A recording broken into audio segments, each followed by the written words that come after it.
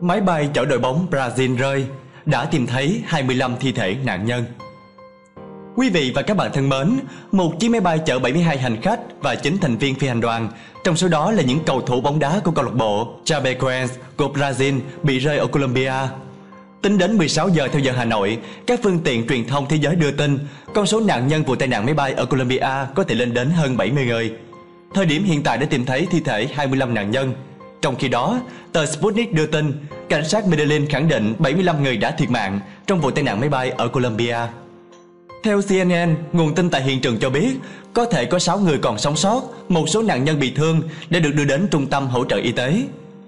Theo hãng tin RIA Novosti, sáng ngày 29 tháng 11 theo giờ Việt Nam, một máy bay chở các cầu thủ bóng đá cất cánh từ Brazil đã bị rơi tại không phận Colombia.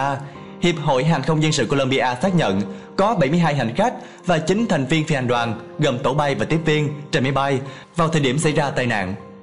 Quý vị và các bạn thân mến, theo các hãng truyền thông, máy bay này đang trên lộ trình tới sân bay Medellin của Colombia thì bị rơi ở thị trấn La Union và ít nhất 10 người bị thương đã được sơ tán khỏi hiện trường. Sân bay Jose Maria Cordova de Rio Negro đã xác nhận máy bay cho đội tuyển Chapecoense đã bị rơi, song chắc chắn có người sống sót.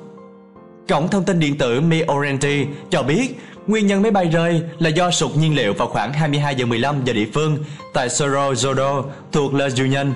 Đội tuyển Chapecoense đang trên đường đến Medellin đấu trận chung kết giải Copa Sudamerica với Atlético Nacional.